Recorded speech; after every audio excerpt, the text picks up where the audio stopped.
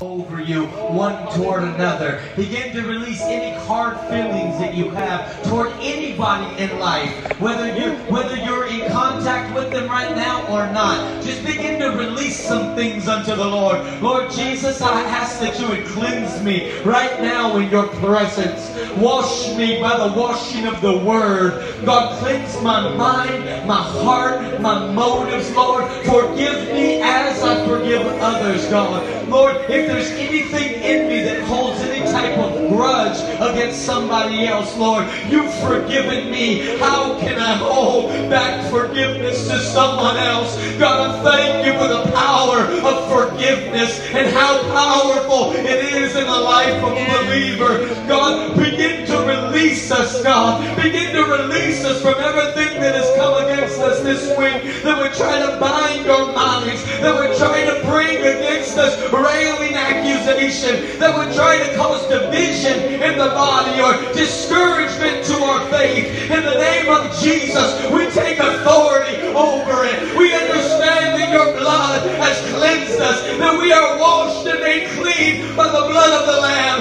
And we thank you for what you've done for us. By your stripes, we are healed, and you have brought us into one body. Yes. And we thank you for that in the name of Jesus. Hallelujah. Hallelujah. Would you clap your hands and thank God for what He's done for Yes. you? Would you just begin to mix some words of affirmation to the lover of your soul and just let him know, Lord, I don't deserve it. God, I don't deserve your mercy, but you are. You are kind, and your loving kindness and your mercy endureth forever. Ah, thank you, Jesus. We serve a God of restoration. We serve a God of healing. And we serve a God who can not only deliver you in this life, but that has gone ahead of you to prepare a place for you. Yes. That where He is, we may be also. Amen. Amen. Would you open up your Bibles to 1 Corinthians chapter 11?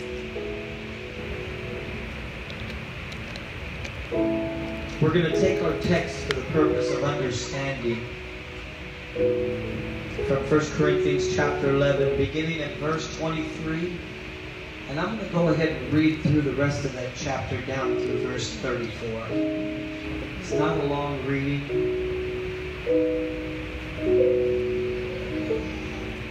But I believe we need to be a people of understanding. Yes. I believe we need to be a people that ask God for His wisdom, That's right. that study to show ourselves approved unto God, Yes. workmen that needeth not be ashamed, That's right. rightly dividing the word of truth. Beginning at verse 23, the word of the Lord says this For I have received of the Lord that which also I delivered unto you. That the Lord Jesus, the same night in which he was betrayed, took bread. And when he had given thanks, he brake it. And he said, Take, eat. This is my body, which is broken for you. Do this in remembrance of me. After the same manner also he took the cup. And when he had supped, said, This cup is the New Testament in my blood. This do ye as oft as you drink it, in remembrance of me. For as often as you eat this bread and drink this cup, ye do show the Lord's death till he come. Wherefore, whosoever shall eat this bread and drink of this cup of the Lord unworthily shall be guilty of the body and of the blood of the Lord. But let a man examine himself, and so let him eat of that bread and drink of that cup. For he that eateth and drinketh unworthily eateth and drinketh damnation to himself, not discerning the Lord's body. For this cause many are weak and sickly among you, and many sleep. For if we would judge ourselves, we should not be judged. But when we are judged, we are chastened with the Lord, that we should not be condemned with the world. Wherefore, my brethren, when you come together to eat, tarry one for another. And if any man hunger, let him eat at home, that you come not together into condemnation. And the rest will I set in order when I come. I want to teach on this communion, remembering his body. Lord, I thank you, God, for this great sacred moment of remembering your body. I thank you for the works that you have done for us, God. Knowing that this salvation is by faith. It is not of works, least any man should boast. God, but you have extended to us the right hand of fellowship. That you have brought us in one people, into one body, through one means of salvation. I pray that you would bring revelation into this house. Yes. Help us to see your body in a whole new light of revelation tonight. And help us to understand exactly what the blood of the Lamb of God did for each and every one of us. We thank you and we honor you. And we give you all glory in Jesus' name. Would you clap your hands one more time unto the Lord? Thank you, Lord. Thank you, Jesus. Bless you, Lord. In dealing with the manner of communion, I want to talk to you on the idea of covenant. See, God has always desired a real personal relationship with his people. He told his people, Make me a tabernacle mm. that I may dwell with you, that I might be your God, and that you might be my people. In taking of the bread, the Jews at this time, when Paul was teaching, they had a tradition that was passed down from Passover. The Passover feast was how God brought them out of Egypt, and how God brought them out of slavery, and how God took a people that the Bible says were the least of all people. And he made them a chosen priesthood. He made them a royal people. He made them sons and daughters of the Most High God. See, when the Jews would celebrate this during this time that the Apostle Paul would be teaching, uh, there was what was called the matzah. And this was the unleavened bread. And the reason why it was unleavened bread is because leaven is ever continual. It consistently grows. It never stops. And the leaven would represent sin. And sin, if you don't know by now, it will always take you farther than you were willing to go. It'll always make you do more than you were willing to do. You'll say more than you wanted to say, and you'll end up more damaged than you would than you originally thought that anything could ever happen. It is it is a constant growing. So he tells us a little leaven leavens the whole lump. See, sin is nothing to play around with. God dealt very harshly with sin. The reason why God deals harshly with sin is not because God does not want you to have fun. It is because God loves you and sin separates you and I from Him. And He loves you so much that He has to deal harshly with sin because He hates anything that would separate you from Him. Mm-hmm. Any parent could understand as we raise our children and things come into their minds and friends and, and peer pressure and influences come between us and our children. And all of a sudden they begin to look at their loving parents that want nothing but the best for them and their voice sounds different. It sounds judgmental. Mm-hmm. See, this is exactly what happened in the Garden of Eden when sin came into the life of Adam. The loving voice of God that Adam longed to dwell with, to walk with, to fellowship with God. The voice of caring and joy and rejoicing. The only voice that he knew of love and compassion. And he said, When I heard your voice, I was afraid. Where did fear come from? Fear stepped onto the scene when sin came into the picture. Because sin brings fear with it, and sin never comes alone. Sin comes with fear, sin comes with torment, and sin Yes. ultimately comes with death. That's right. And the Lord did not Come want on. anything to come between him and his beloved. Right. This is a relationship thing that we are talking about Yes. tonight. This Yes. is a covenant. Man, that's right. This was the Passover. This was good. this was the way that God would fellowship with his people in the old covenant or old testament.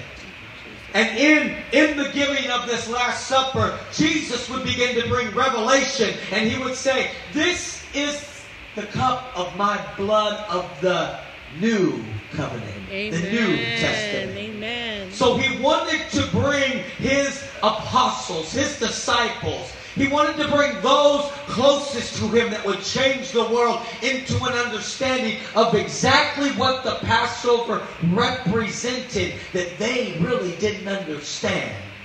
He wanted to bring them that understanding, illuminate what they had been doing ritualistically Mm. and saying it's more than just a ritual. This is about relationship.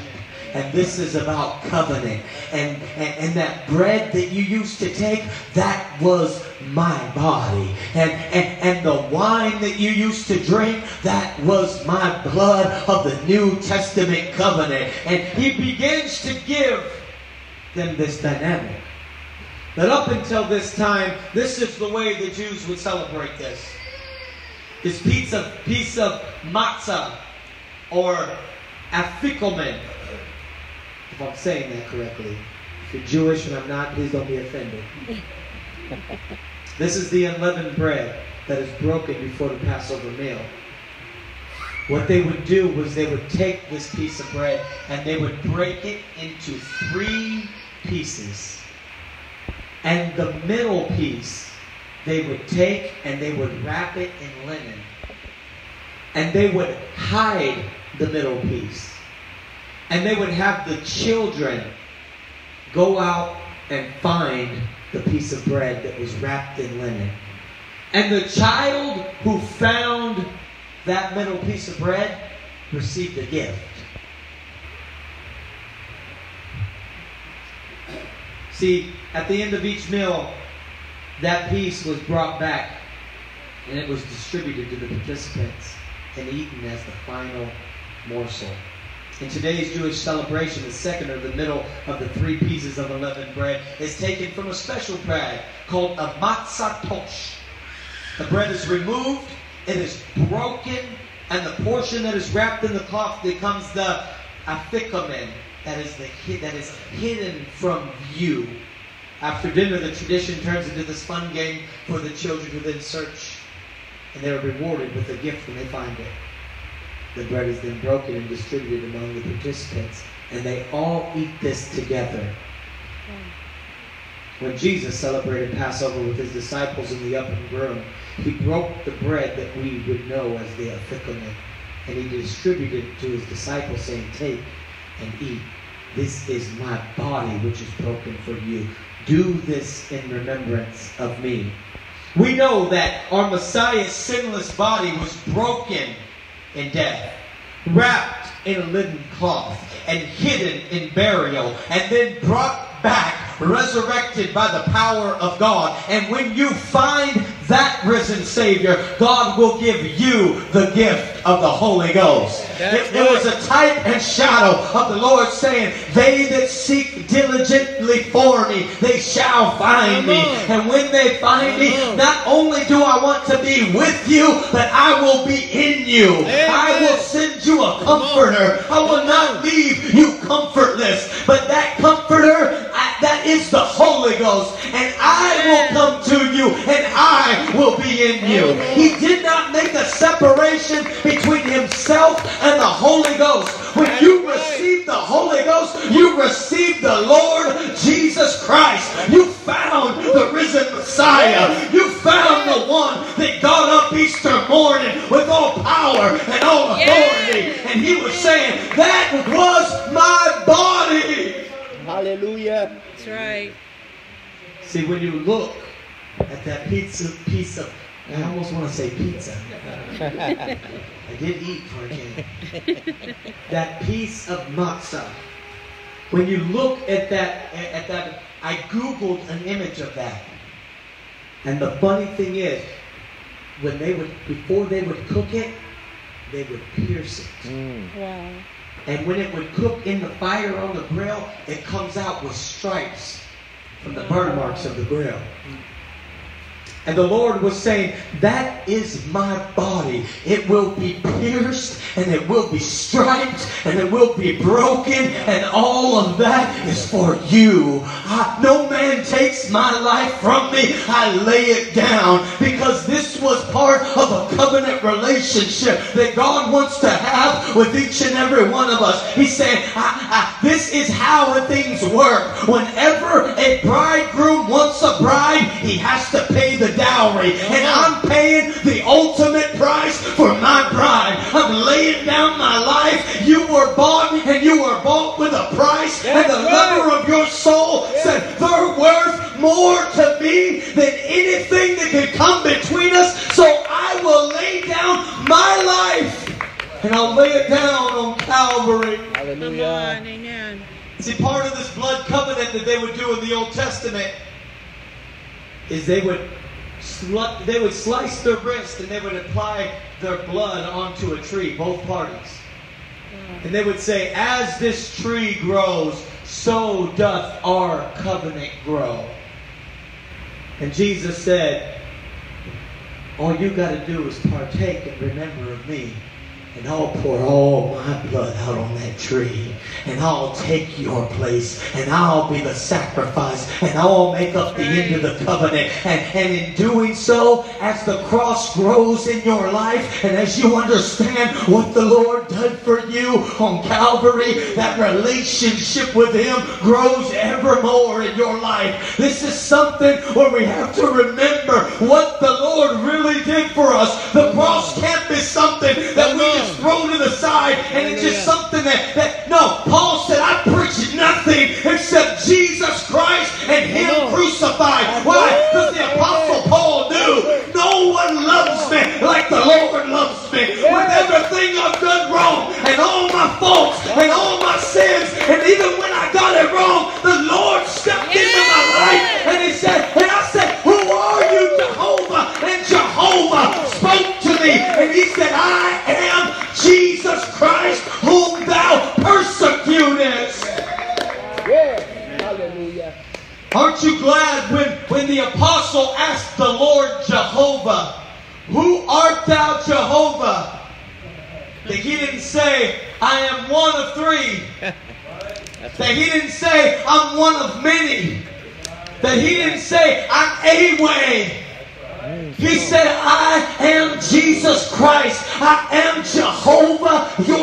salvation. I'm the one true and the living God. And there is none other like me. And I am the way, I am the truth, and I am your life. And I've come to give you life that you might have it and have it more abundantly. Amen. Paul. Amen.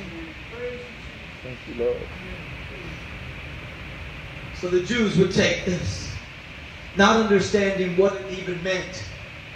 In, in my research, the Jews thought it was Abraham, Isaac, and Jacob when they were breaking it into three, three, three pieces.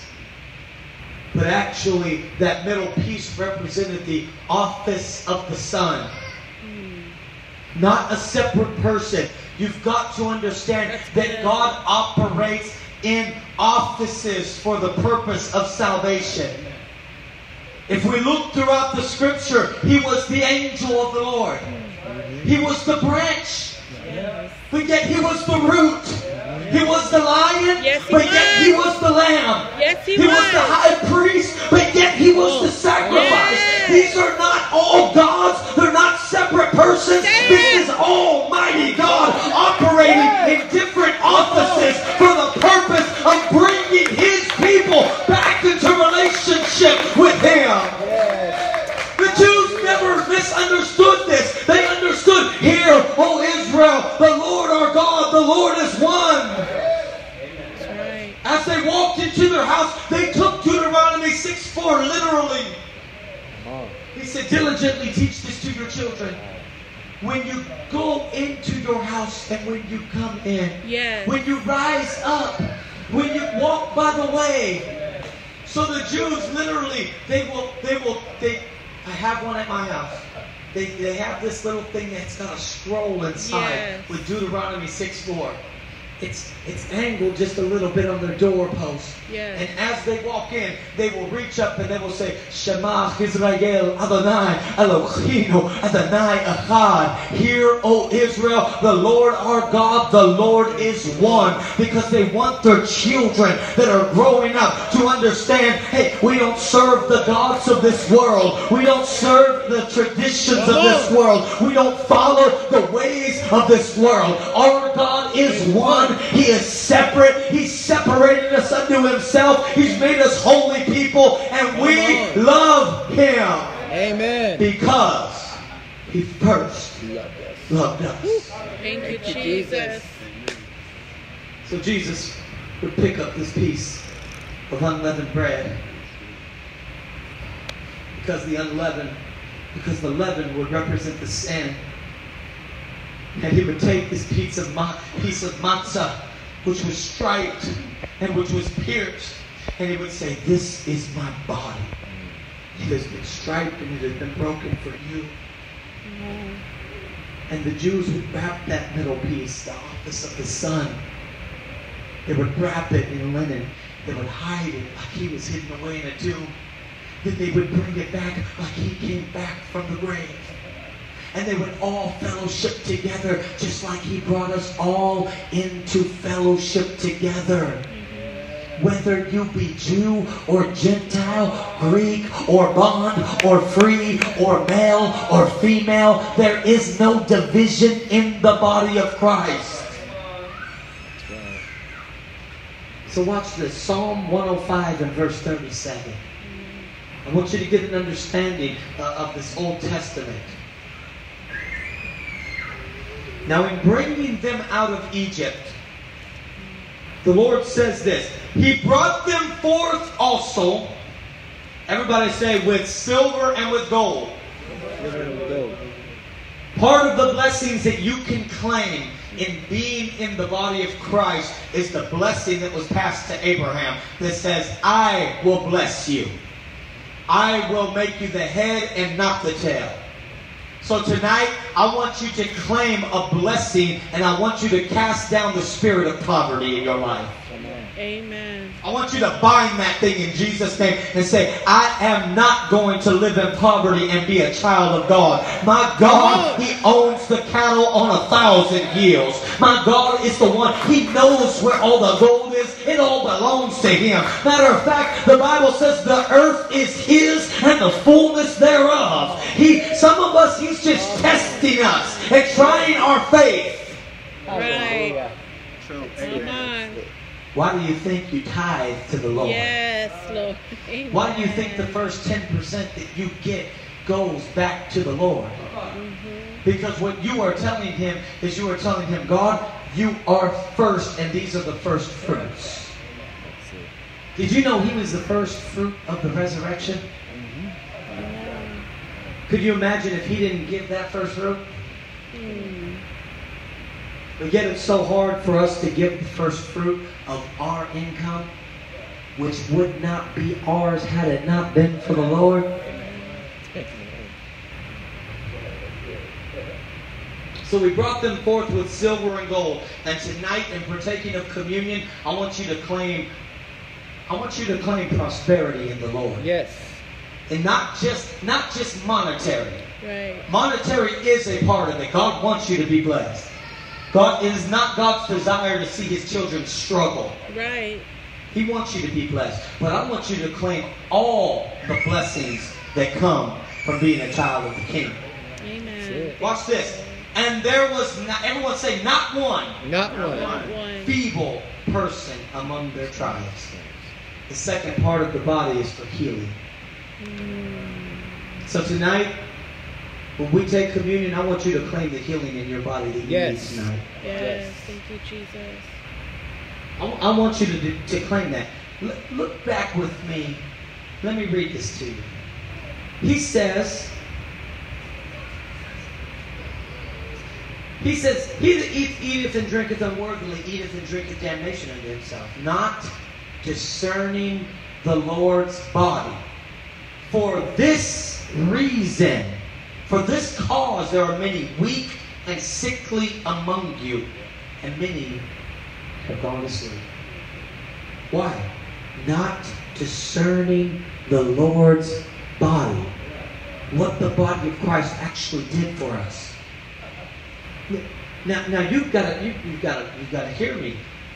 Two million plus people came out of Egypt.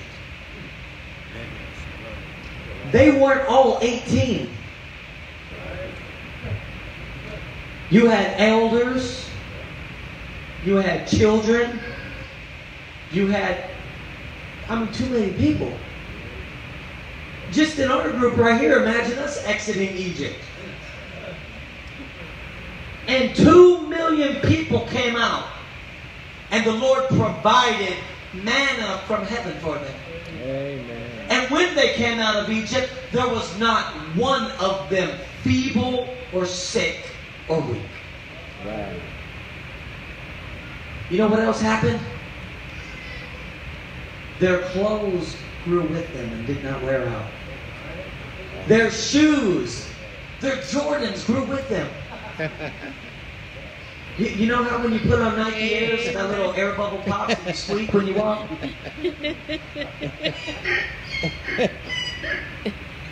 You got the fake ones. See, the real ones don't come with all the all, with, with all the problems. You know why some some Christians have all the problems? They might be fake ones.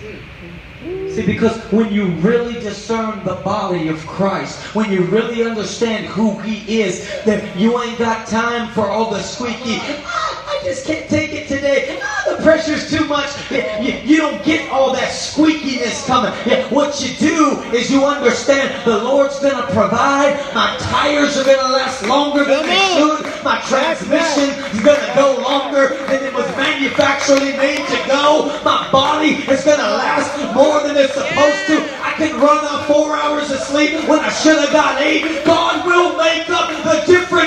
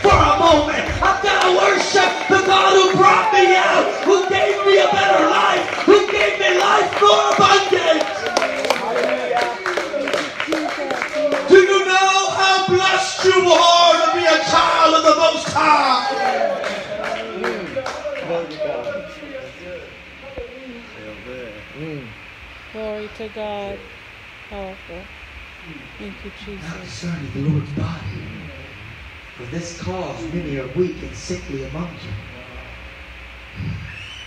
See, the cross is where we as New Testament believers, we have to discern the body of Christ. What did the body of Christ do for us? Think about the bread when it was pierced. Jesus would take upon himself six piercings. Piercing of the crown. The two piercings in each of his hands. Two piercings in each of his feet. And the piercing from a soldier below that would go up through his side and into his heart. Causing the death of our Lord. Mm.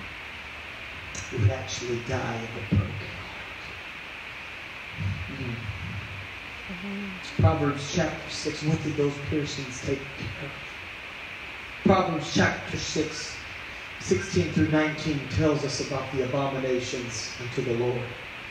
It says, These six things doth the Lord hate. Yea, seven are an abomination unto him. A proud look. Mm. Where does the proud look come from? Comes from the mind. Your brain is what does the seeing.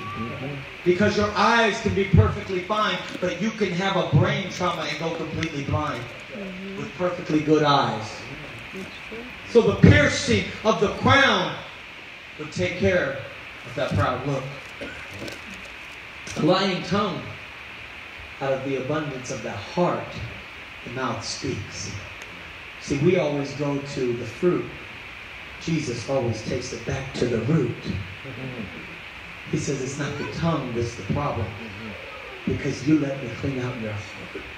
And you won't say those type of things anymore. You, you can't put enough soap in a three-year-old's mouth to get him to stop cussing. It's a hard issue. It, it's a hard issue. Someone's not loving that little kid like they should. Someone's not teaching that little kid like they should. That's right. So Jesus would take the, the, the Bible says when they pierced him, blood and water flowed out, and that's when they knew he was dead. If you know anything about the heart, the heart has a water sac that is around it. And when they pierced him up through his side at the angle that the soldier would have been standing at, they would have went up through his side and into that sac around the heart, and blood and water would have fall, would have flowed out.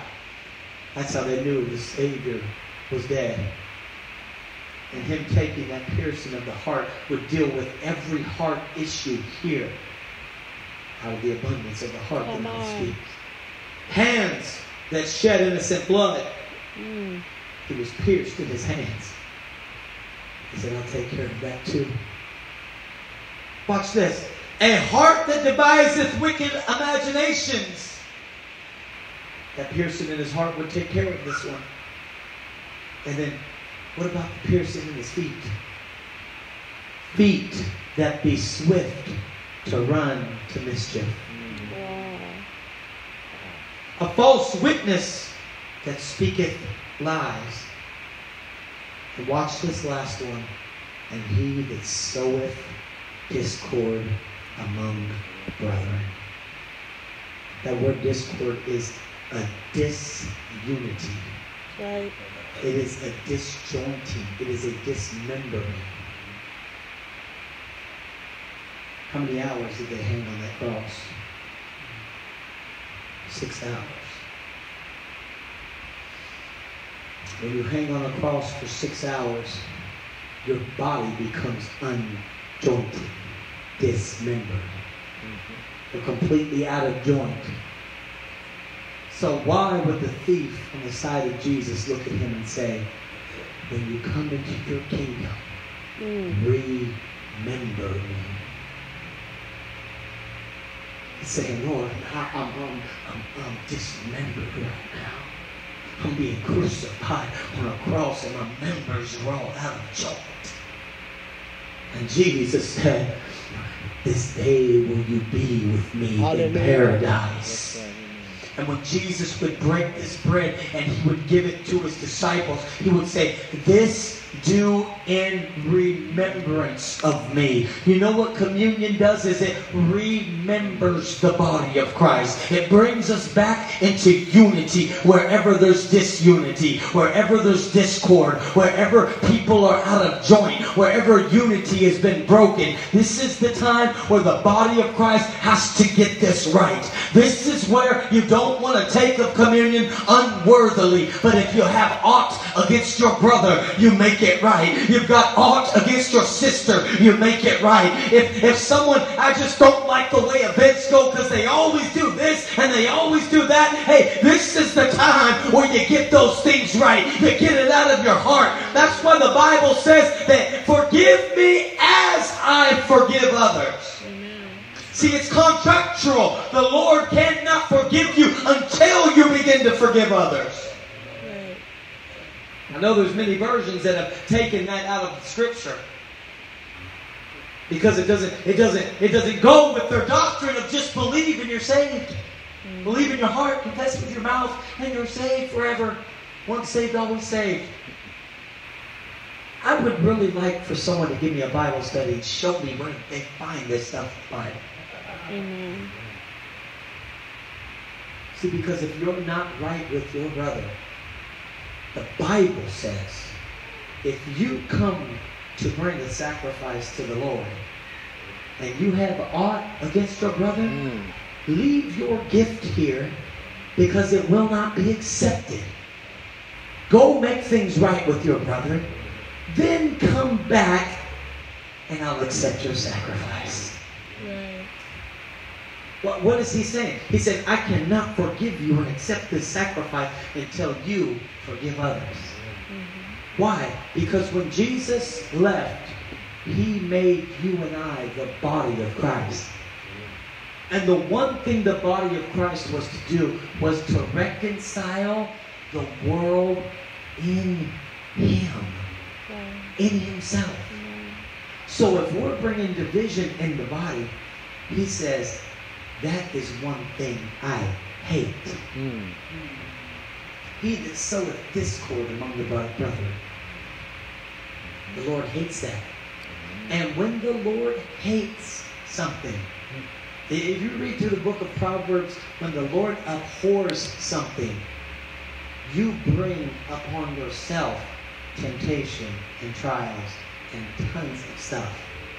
So if you're going through some crazy things in your life, you need to check yourself through this Proverbs chapter 6 to say, Am I doing something that the Lord hates?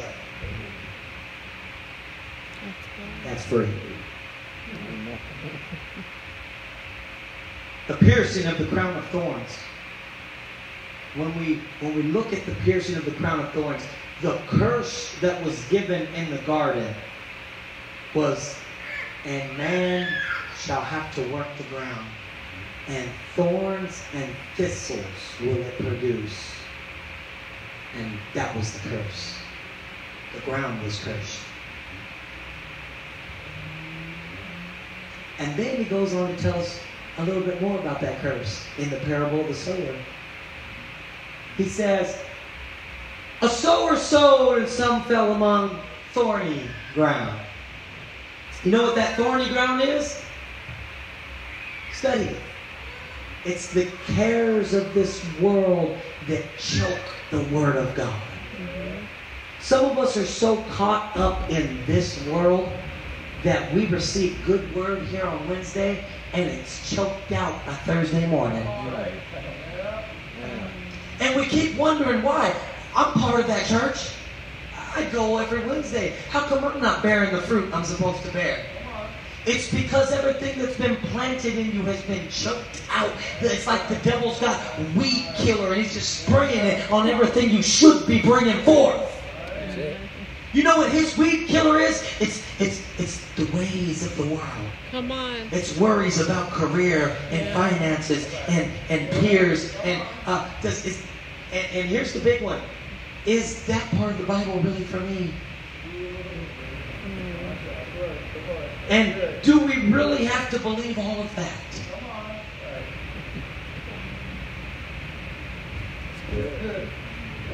And I don't know. I feel saved. Even though I've never been baptized in Jesus' name, I feel saved. Right. Come on. I know the Bible tells me that he that believeth and is baptized shall be saved. And I know the Apostle Paul found believers that were baptized another way and then commanded them to be rebaptized in Jesus' name. But it's been years since I've been baptized. And I really don't feel like I have to be baptized in Jesus' name. Oh, man. Well, that's kind of a care that chokes out the Word of God. Because if you truly read the Word of God, there's only one name to be saved in. There's only one name. So when I come across people, they say, Oh, no, I've been baptized. How were you baptized? I don't know. I think in the titles Father, Son, Holy Ghost. But that's all Jesus, isn't it? Well, there's no name there. You just try to write a title on a check and go cash it. Let me let me write to the pastor, give you a check, and see if you go to the bank and you can cash that. They're gonna say to the pastor, who is the pastor? That's me. What is your name, sir? Your name is what validates Right. the reward. Right. That's good. It's true. If there's anyone in here that has never had a, a, a Bible study on baptism in Jesus' name and why it is absolutely 100% necessary to become part of the kingdom of God and part of the body of Christ, please see me. I would love to sit down with you and, and, and show you through the Word of God that nobody in Scripture was ever baptized any other way. Amen. Amen. So, the piercing of the crown took care of all, all these things. See, we put too much on ourselves. We, we take all those things onto ourselves. We take the cares of this world and we wear it on our head. It pierces our minds. How many of us can't go through a day without, without things that prevent us from functioning properly? Because we're afraid. There's cares in this world. We're afraid of the doctor's report. We're afraid of what tomorrow holds. We're afraid of what other people will think. We're actually afraid of everything. But you know what cast that out? What Jesus did for you was perfect love. Amen. And when you understand how much He loves you, that perfect love steps in and it casts out all fear. That's right. Amen. And then we have the blood, the forgiveness of sins. Thank you, Jesus. 2 Corinthians 13 and 5 says, Examine yourselves whether you be in the faith. Prove your own selves. Know ye not your own selves how that Jesus Christ is in you, except you be fakes, except you be reprobates. This is a time where we humble ourselves, where we come together to examine ourselves against the cross, not against one another. The Bible says, don't compare yourself one to another. It is not wise. Amen. So, so it says, the blood of Jesus Christ cleanse you from all unrighteousness. So, if you've been baptized in Jesus' name, if you've been baptized any other way, you have, have, have to be rebaptized in Jesus' name. But if you have been baptized in Jesus' name, you do not have to be rebaptized. Let me tell you that. When you take communion, you are reapplying the blood to your life. See, when they would apply the blood to their doorpost, that was a representation of the blood, blood being applied to the entrance point of the home. And you and I, we have an entrance point. It's our heart, it's our spirit, it's our soul. Right. And we apply the blood once in baptism. Amen. Once. See, see, this is this is kind of showed to us in in um, when Moses smites the rock the first time. He smites the rock, and water comes from the rock. hmm And then God tells him, Moses, go and speak to the rock. And he smites the rock again. And the Lord was wroth with him. You know why? Because that rock was Christ. It tells us that in 1 Corinthians chapter 10. He only needed to be smitten once. After that, you just talk to him. Amen. So Christ did what he did for you once. He doesn't have to be crucified again. It isn't an over and over thing. You accept what he did for you.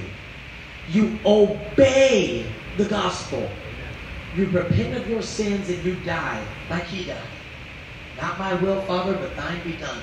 I don't want to die, but I know I have to die. That's our repentance. Not my will, but thine be done. My will will take me to hell. My will wants to party. My will wants to do all kinds of crazy, sinful things. So my will has to die. That's right. And then my will has to be buried. Right. And Jesus was buried in a borrowed tomb. Yes. You know why?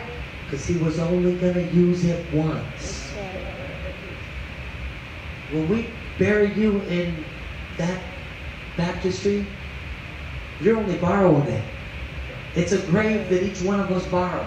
That's good. You know why? Because we're only being buried once. That's right. And then we live with resurrection power.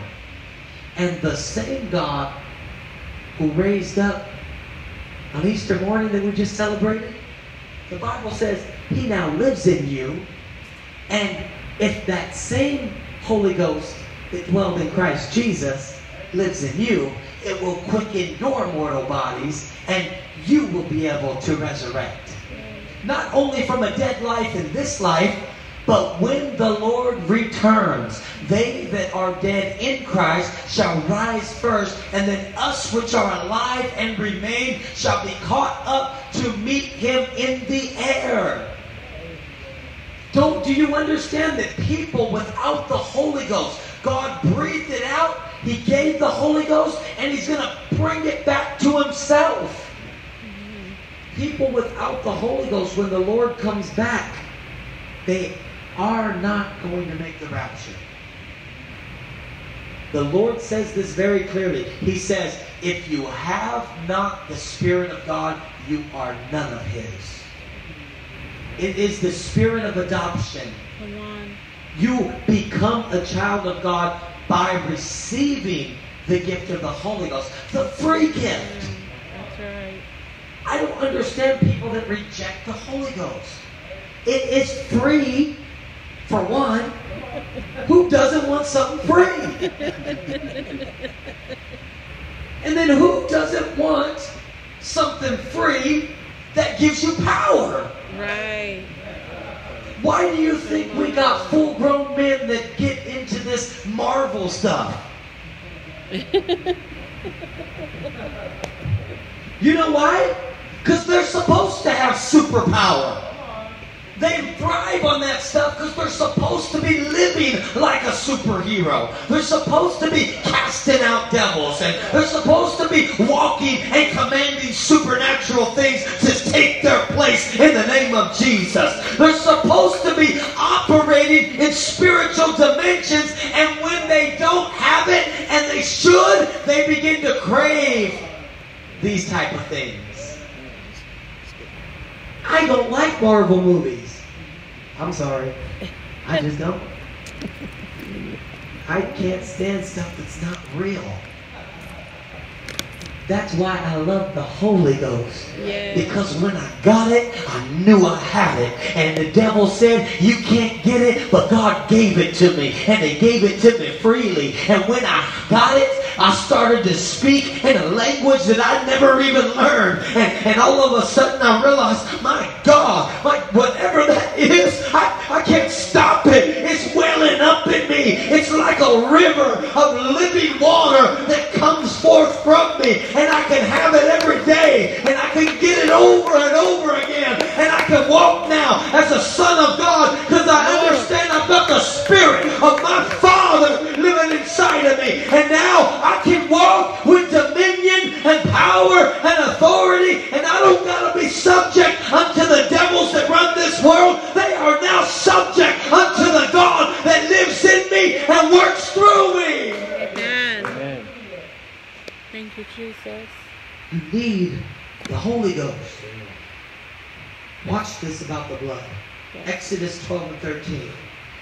And the blood shall be for you a token upon the houses where you are. And when I shall see the blood, I will pass over you. And the plague shall not be upon you to destroy you when I smite the land of Egypt. Do you understand when God returns for that final battle to destroy the wicked? If you have been baptized in Jesus' name, you have applied the blood of the Lamb to your life. And when he sees that blood, he will pass over you. Mm. It- it, is, it is how we are saved. Watch Leviticus 17 11. For the life of the flesh is in the blood, and I have given it to you upon the altar to make atonement for your souls. For it is the blood that maketh an atonement for the soul. Sister Sheena, could you come? The lamb would, watch this, the lamb would then have to be inspected. And upon inspection, it would have to be declared over the lamb that there is no blemish in that lamb at all before being released to be sacrificed. Now watch this. They bring Jesus the Messiah to Pilate. And they say unto him, This man is guilty. This man has blemish. Pilate looks at Jesus and he begins to examine him. And he declares over him, I find no fault in this man at all. Qualifying him to then be the sacrifice. And so in the Old Testament, the priest would bring the lamb, and at nine o'clock, the priest would lay that lamb and tie it to the altar. And then at three o'clock, the priest would sacrifice that lamb and would declare, It is finished. And at three o'clock, they lifted our Lord. They suspended him between heaven and earth. Mm. At nine o'clock, they lifted him up, and at three o'clock, he cried out, It is finished. He was both the Lamb and he was the high priest. Mhm. Mm. He was both the Father and he is the Son. Yes, he is. Amen. And we truly understand what the Lord did for us. You understand that God didn't send another. That he came made of a woman. He came made under the law.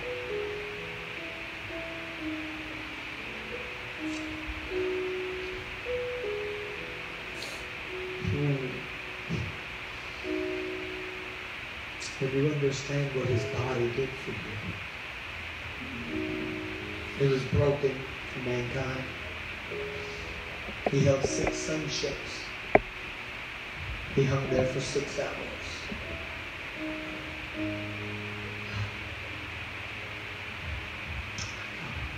And he did it on the sixth day. Six is the number of man. As he did this, he took care of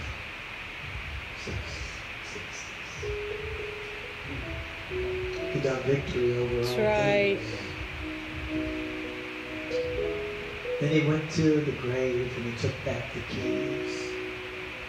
And he said, You've had you've you've had to dominion over my people long enough. The Bible said he preached to the spirits that were in captivity, spirits that were in the grave. And he declared unto them the gospel. And those that believed that they resurrected and they walked around Mhm. came up from their tombs Easter morning, Mhm. went into Jerusalem and began to proclaim as a witness that the Lord had resurrected. I believe that's a type of the two witnesses being dead three days and resurrecting and going out and telling the people. Because he was the fulfillment of both witnesses. He was the Old Testament. He was the New Testament. He was the fulfillment of both. That's why Elijah and Moses met him on the Mount of Transfiguration. He was everything and all of who God was in flesh for one purpose and one purpose alone to redeem mankind back to himself. And he said, This I do. And there's only two, need to remember that will sum up all of the Old Testament and all of the New Testament. And they are this Thou shalt love the Lord thy God with all your heart, your mind, your soul, and your strength. Yes.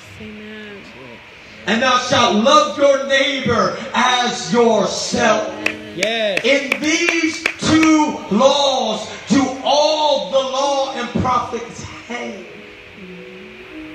And what he was showing us on Calvary was I'm God in flesh. And I've come to reconcile men unto myself, that there be no more divisions among you Mhm.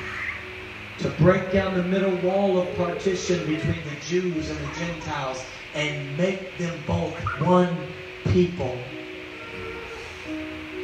There's not going to be two. Jesus ain't returning for two brides. He's returning for one bride. That's right. Amen. And it will be Jew and it will be Gentile. That's right. He's coming. He's coming back with a reward for each and every one of us. And as we partake tonight of this communion, this is a time for us to make sure we examine ourselves.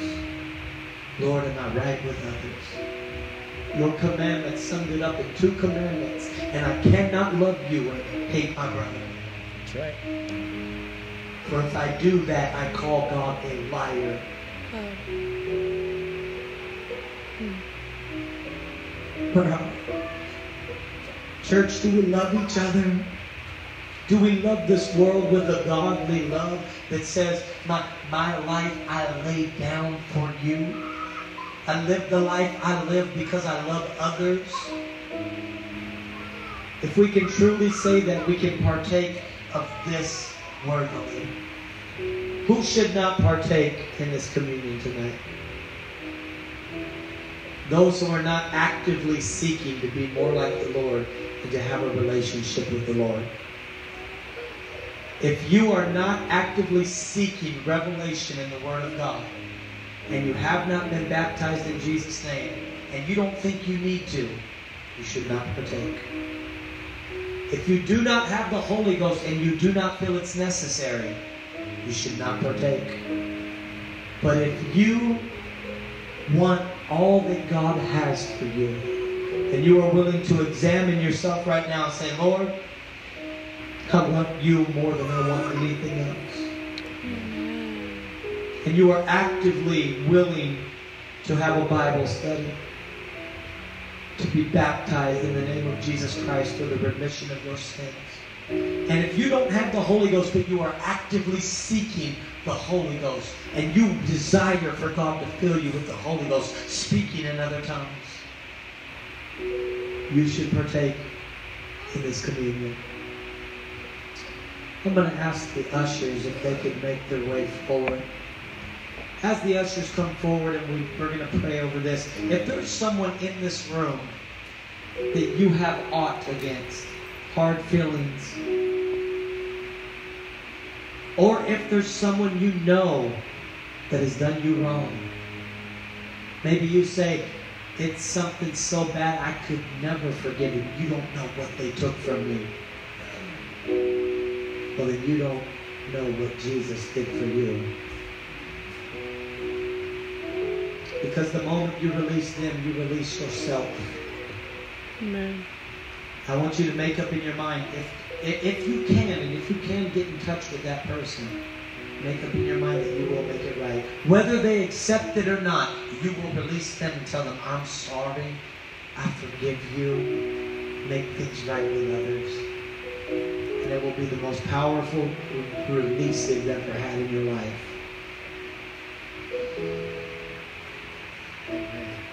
I want to give everybody a moment to take this time to repent of their sins.